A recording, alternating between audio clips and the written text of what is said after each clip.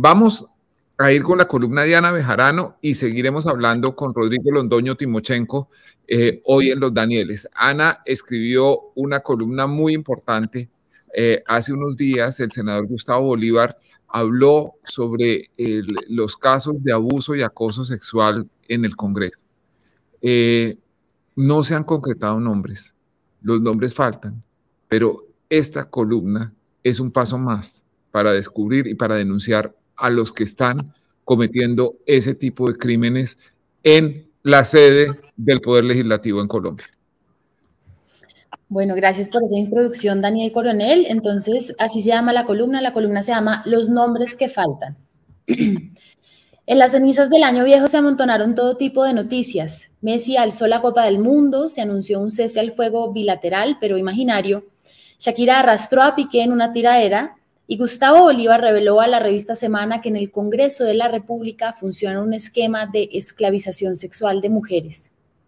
La denuncia da cuenta de una verdad silenciada que me transportó a 2014. Como secretaria privada del ministro de Justicia perdíamos bastante tiempo en el Congreso. Hacíamos todo y nada por horas en los pasillos del Capitolio.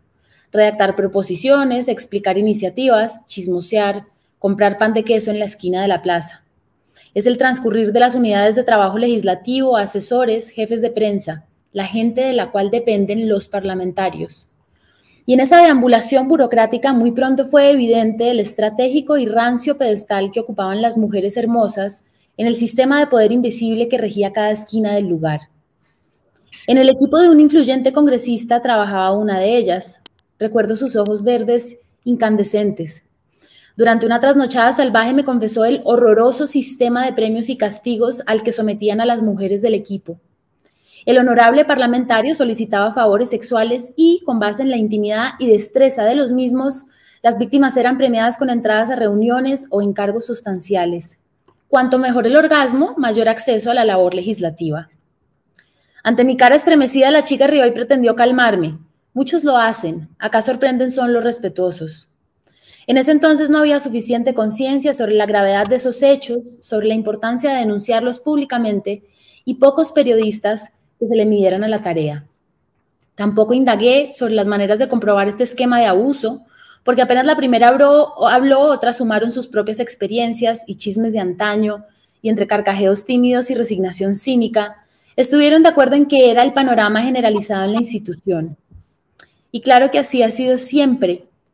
Los equipos de incidencia legislativa son conformados por mujeres inteligentes, pero ante todo bonitas, es un requisito explícito que muchas veces discutimos con la encargada de los asuntos legislativos del ministerio, una costeña talentosa y pragmática que asumía con aplomo sencillo las reglas misóginas de su trabajo.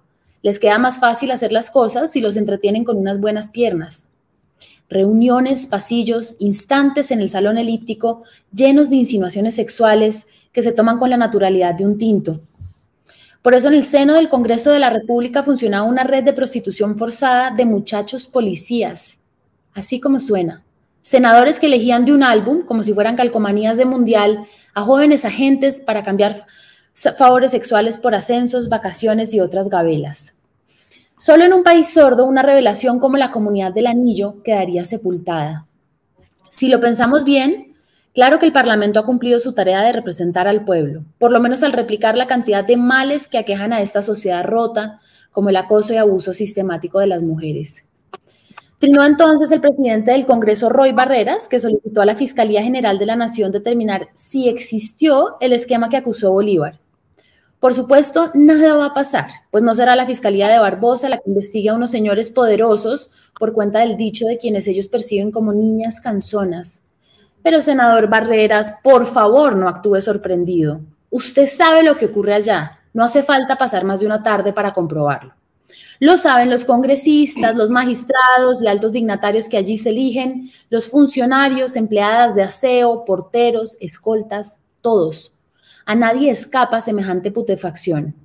Bueno, se le escapa a la senadora Paloma Valencia, quien salió en el tiempo a atacar a Bolívar en tono patriarcal, a poner en duda las voces de las víctimas y a repetir frases de capón. Si es cierto que ella no se ha dado cuenta de lo que pasa en el lugar donde legisla desde hace ocho años, es preocupante la disonancia de la vociferante política con la realidad. Años después me encontré a una de esas asesoras despampanantes en un restaurante con varios congresistas. El saludo fue incómodo. Con el tiempo he venido a entender el difícil lugar que ocupan esas mujeres reducidas a una minifalda, despojadas de su agencia, sometidas a normalizar y hasta justificar años de abuso. No coincido mucho con Bolívar, pero siempre pensé que era un bicho raro en el Congreso, alguien genuino. Por eso no me sorprendió que fuese este guionista asqueado quien denunciara públicamente. El problema, Gustavo, es que se le quedaron los nombres de los protagonistas por fuera del relato. En el caso de la chica de los ojos verdes, el poderoso jefe que la sometía a sexo oral para invitarla a reuniones es hoy un altísimo funcionario del Estado. Otro nombre que falta. Si alguna de las víctimas de esa noche estrellada en la azotea del Capitolio lee esto, sepa que es hora de hablar y cuenta con esta columna para hacerlo. Esa es la columna. Tremenda, Anita, muy buena columna, tremenda, ha causado pues muchísimo impacto en, en la opinión y en las redes, muy valiente, muy buena, pero veo que en las redes te hacen la misma pregunta que de alguna manera tú le haces a Bolívar y es que te faltó a ti también decir el nombre. ¿Qué dices de eso? Sí, es difícil porque eh, esta es una forma especial de criminalidad tan silenciada y tan sistemática que denunciarla es muy difícil, demostrarla es muy difícil. Las mujeres que lo hacen, muchas veces, yo creo que eso está cambiando, pero muchas veces padecen persecución, nadie les cree, empiezan a auscultar entonces la vida de ellas, que es que ella hacía esto, que es que ella era de esta manera.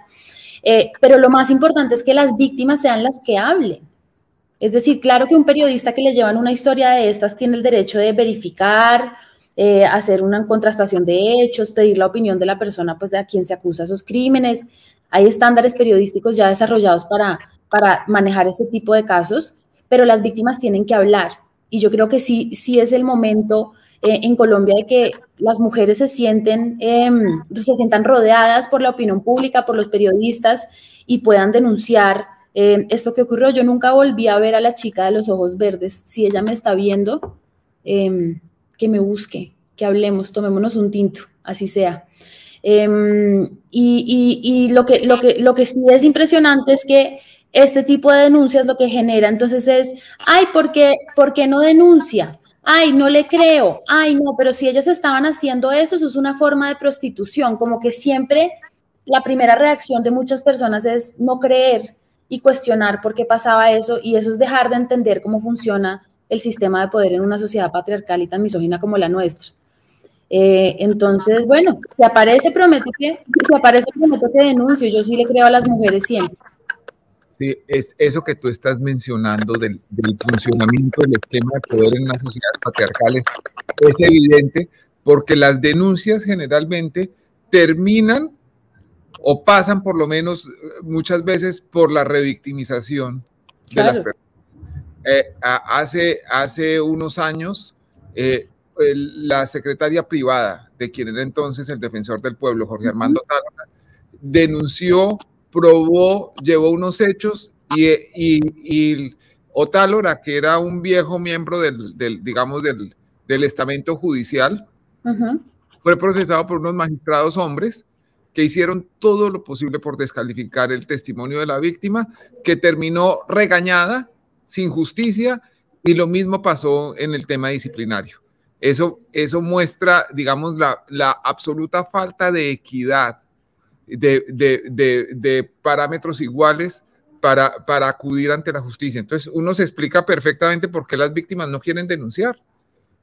Claro. Y, las, y, las, y los periodistas que se meten en ese tema, pues eh, son perseguidos, acosados judicialmente, eh, entonces empiezan a decir, no, es que nadie puede acusar a un señor poderoso de, acosar a una mujer sin que haya sido condenado judicialmente. Entonces no podemos decir que Pablo Escobar era un narcotraficante porque nunca fue, fue, fue condenado por narcotráfico. Si una mujer tiene pruebas y tiene un contexto en el que puede demostrar que eso pasó, claro que puede decirlo. Y esa es la jurisprudencia, esa es la tendencia internacional y también en Colombia. Em, entonces yo creo que, que, esa revictimización, yo me acuerdo mucho del caso de Daniel Coronel, tú lo denunciaste en tu columna y fue muy polémico porque había una foto espantosa que demostraba toda la, la circunstancia con Otálora, era clarísimo que eso había ocurrido. Eh, y yo creo que eso fue uno de los primeros casos. ¿Eso, cuando, eso fue hace por ahí 10 años, Dani? ¿O cuándo fue por Sí, yo, yo, creo que tal vez 8 años, algo así. Y ya ha pasado mucho tiempo, ya es hora de que en Colombia empecemos a, sacudir esas estructuras. Sí, Así es.